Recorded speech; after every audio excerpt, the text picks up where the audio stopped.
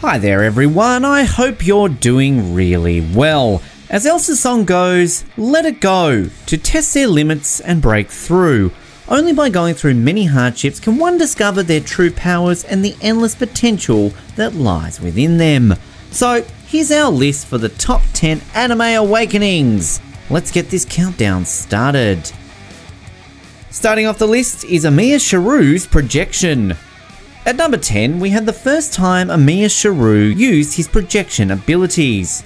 As many Fate fans know, Shirou is not really all that useful as an ally, especially in the Holy Grail War. At the beginning of the show, Shirou was shown to have the ability to strengthen materials with his Trace On, but during the fight between Shirou, Saber, and Tosaka against Kuzuki Sensei and Caster, without the additional help from Archer and the after being surprised by Kuzuki's fighting abilities, the three were being overpowered. Shirou, being infiltrated by Archer's sword skills and his dual blades following being disarmed, he used his projection ability to create clones of Archer's blades. Now that's jealousy in a whole other level.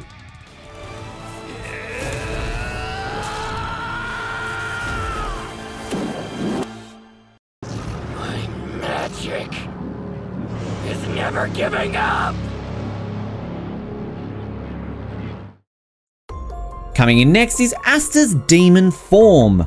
Following the steps of Uzumaki Naruto, Asta was not the genius or gifted guy, but someone who was determined to prove society wrong.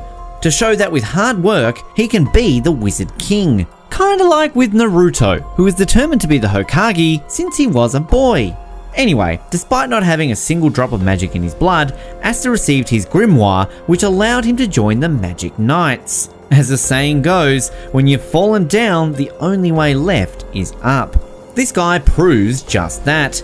Despite people kicking him down time and time again, he keeps rising up and reaching for the top.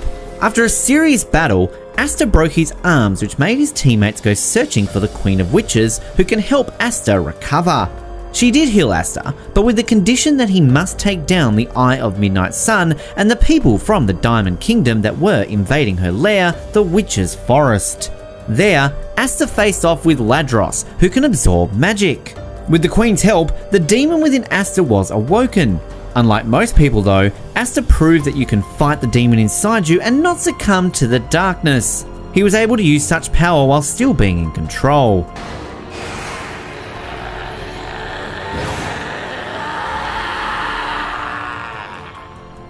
With this, he was finally on par with Ladros. An epic airborne battle took place, and like a black shooting star, he flew to the sky and battled with Ladros and eventually defeated him. Kaneki, let me take from you. Let me devour you. Kaneki powers up against Jason makes it at number 8. It's better to be hurt than hurt others. This was Kaneki Ken's motto in life, which basically sums up why others saw him as a weak guy. Scrawny and pathetic, a guy who was only interested in books and read and read all his life until he saw a pretty girl and he was deceived. This is why people should try living outdoors once in a while, to not get fooled just because a tall, fair, pretty girl who happens to have the same interests as you walks up to you and was very friendly. Look what happened to Kaneki. The girl tries to eat him and then rushed to the hospital. Doctors experimented and he ended up turning into the one eyed ghoul. But because he was Mr. Softy, it took 12 episodes before he truly became a ghoul and evolved into the badass white haired Kaneki many people came to love. Turns out he only needed to get his toes cut several times by Jason before realizing that the world is indeed cruel and unfair and nothing like Sesame Street where everything is all cupcakes and rainbows. At 7, Eren uses the power of the Founding Titan.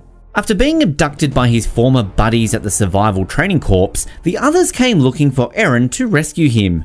Of course, there is no way Mikasa would allow Eren to be taken from them. In the midst of their rescue, Mikasa retrieved Eren, but they came across a familiar Titan, the same Titan who ate Eren's mother. After seeing that face, there was no way Eren would let it get away from him this time. But due to major exhaustion, Eren's remaining strength can only allow him to regenerate. Despite all his efforts to turn into a Titan, he failed.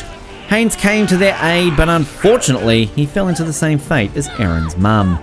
Thereafter, witnessing another person he holds dear being devoured by his sworn enemy, Eren was about to give up, realizing he has not changed one bit. But Mikasa made him see that he has and was someone important to her. This motivated Eren to use the power of the founding Titan for the first time. He punched the palm of the Titan and with the second punch, Titans began running to the one who ate Eren's loved ones. They devoured the Titan and Eren used this opportunity to run away.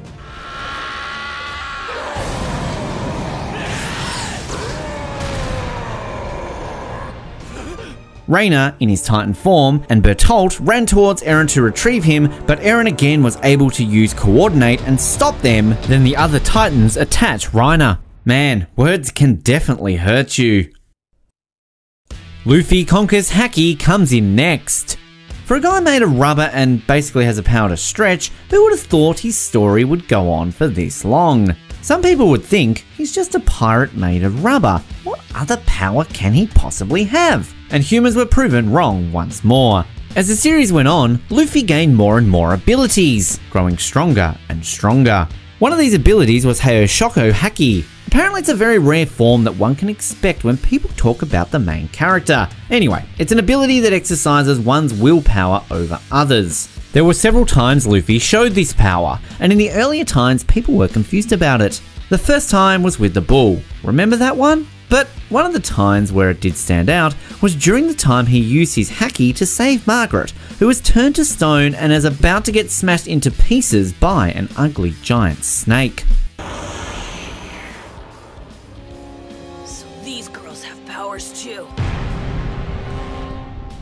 Screaming stop while in the grasp of another ugly giant snake, his amazing power reached all the way to the audience observing the match. A large number of them fainted, and Margaret was gently released, and so was he. His power has similarities to Shrek's roar. I said stop! That's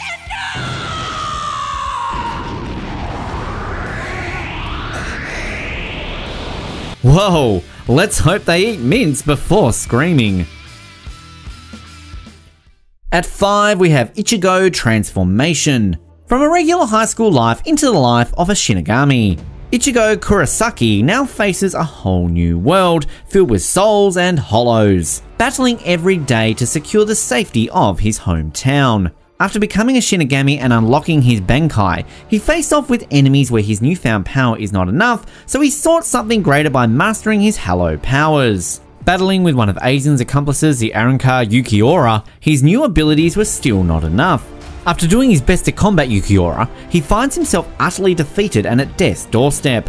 His friends Uryu and Orihime tried to rescue Ichigo, but Ulquiorra was still too powerful for them. And amidst the chaos and in order to rescue his friends, Ichigo snaps and transforms into a Hollow as well.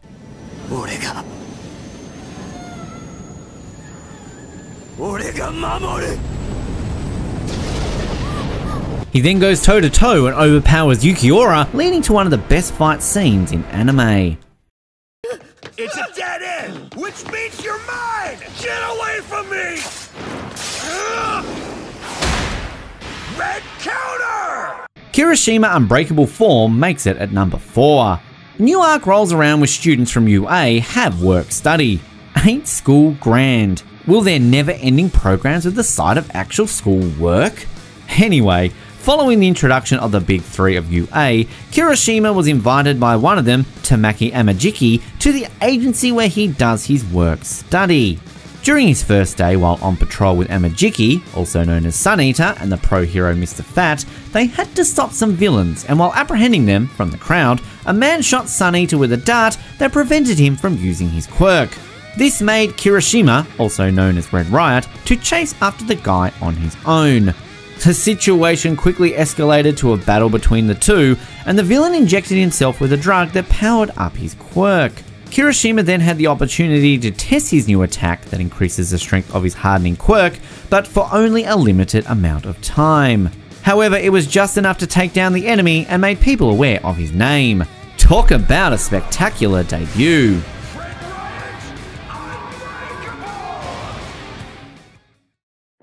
Goku Awakens Ultra Instinct comes in at number 3.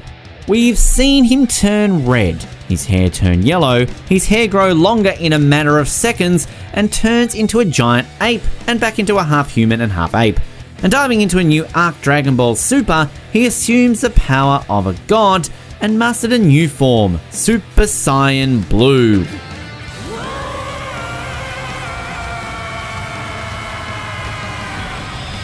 Now Goku has to participate in a universal competition where his entire galaxy, or universe, is at stake. On the final round, he then faced another challenge, and we all know how Goku loves a challenge. And as usual, our favourite Saiyan overcomes this by mastering another transformation, Ultra Instinct.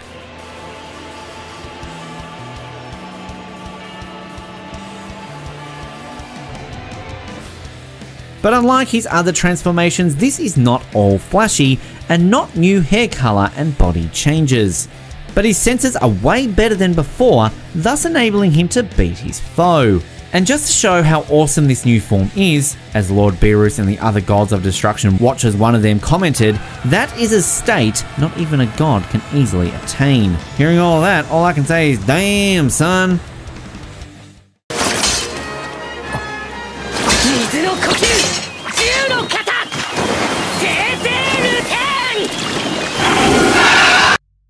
At number 2, Tanjiro powers up.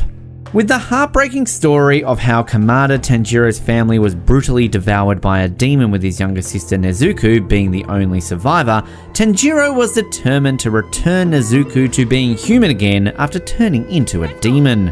He was able to join the Demon Slayer Corps in hopes of finding the cure for Nezuko. During one of his most difficult battles yet, he had to face off with Rui, one of the lower five of the 12 Kizuki. This guy just proves to not judge people by their size.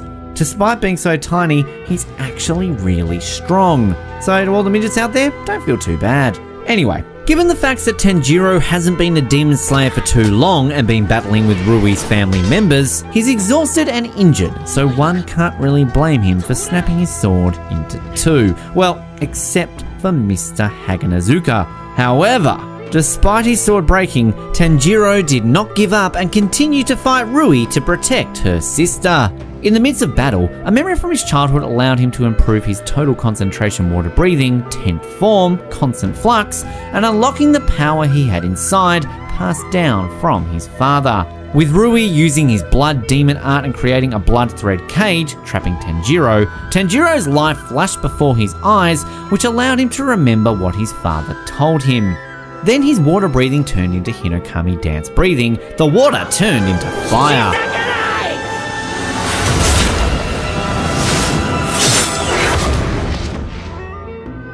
This scene is such a beautiful portrayal of a brother's love for his sister, wanting to protect her with all his might, even if it means getting hurt himself.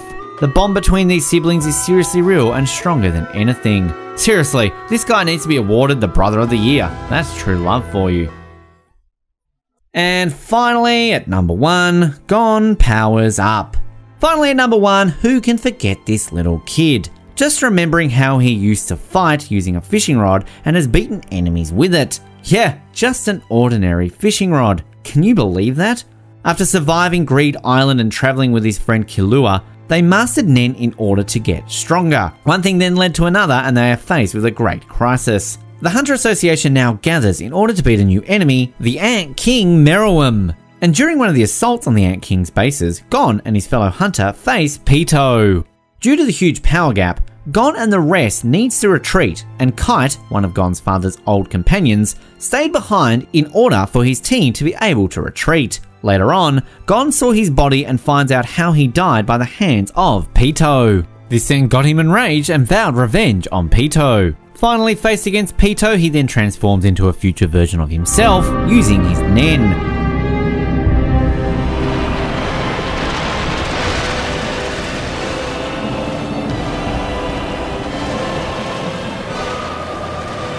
By doing this, he gains enormous power, allowing him not only to defeat Pitou, but literally overpowering him, leading to his ugly demise. But as we all know, gaining enormous power will always come with a price.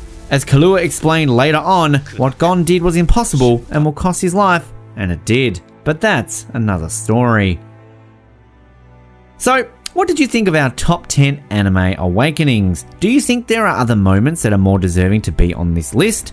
Feel free to give your opinions in the comments section below, and don't forget to subscribe and hit that like button for more similar videos. Until next time, Atakas in arms, stay home and stay safe, see ya!